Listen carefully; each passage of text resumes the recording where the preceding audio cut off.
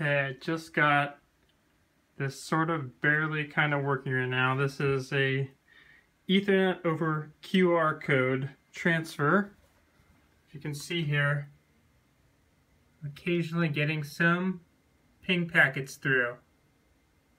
Request and reply. That's between my desktop, which has its webcam down here, pointing at the screen of my laptop,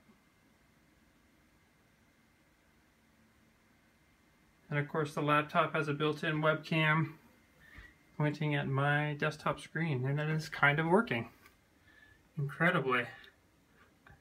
This is reading from a tap device, generating a 60, base 64 encoded string that I turn into a QR code that gets read from the webcam, base 64 decoded, and then written back out to the other device's tap device.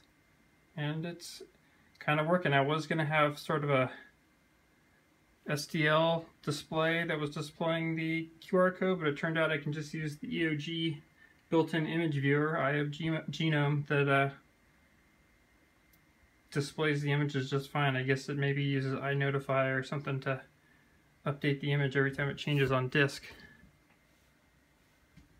definitely finicky, but it is working right now.